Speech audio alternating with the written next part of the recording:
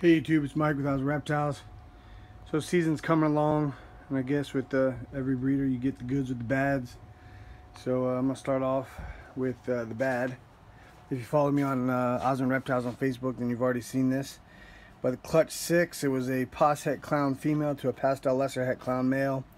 I had six eggs, and for whatever reason, I don't even know why, the babies uh, basically didn't ever make it out of the egg. They didn't absorb their um, yolk or umbil uh, the umbilicus or whatever it's called. And uh, yeah, well, the good news in this clutch is I proved this female to be 100% het. The bad news is, is I had a pastel and a pastel lesser, a pastel clown, and a pastel lesser clown that were uh, amongst the six dead babies. But anyhow, um, quick update: clutch five. Uh, I ended up hitting on a male Mojave and a male special and then two female specials. I never did an update after these guys shed out.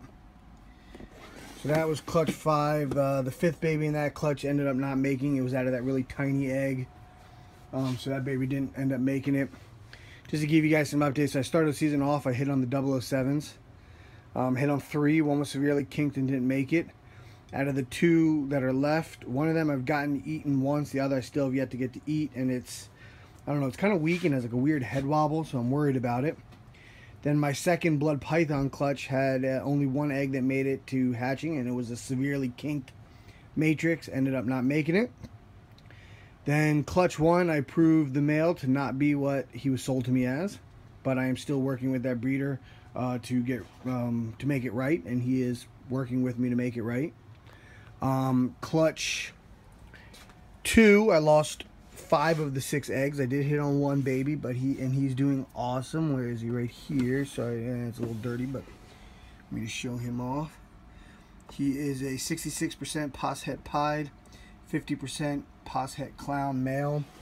Um, he is for sale, uh, but he's the only surviving baby from Clutch Ball Python Clutch 2. Ball Python Clutch 3 was good. I did hit on, let's see, I did hit on the Spot Nose GHI, Pos Het Albino, and it actually could also be chocolate in there.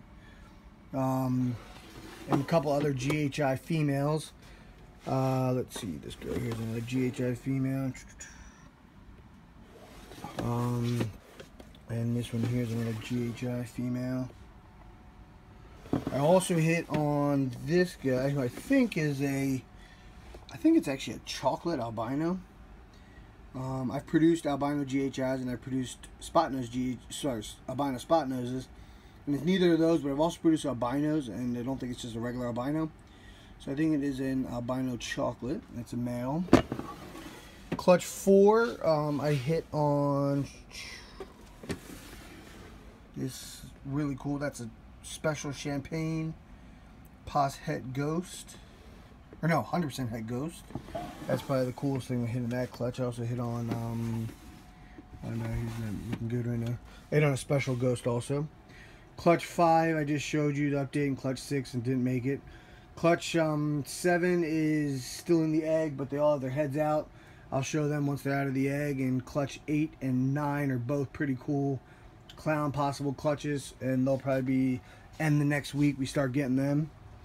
Um, but again like I said what comes with the good with the bad here is clutch 22 and I got a super pastel girl sitting on I don't know when I looked earlier it looked like maybe five or six eggs.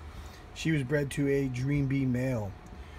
So I just wanted to give everyone a little update on the goods with the bads. Got um, I think three or four girls still due to lay after this girl. There's the inside incubator, full. And the rest of the clutches in the outside incubator. Alright, Osmun Reptiles out.